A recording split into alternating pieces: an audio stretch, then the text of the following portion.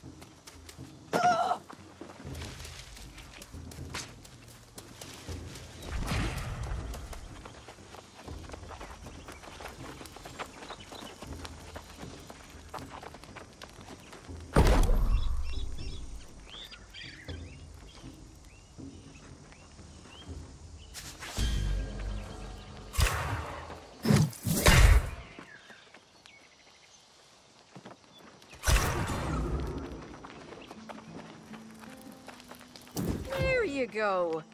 You've got an eye for this, it seems. Now's time to make yourself a little feast.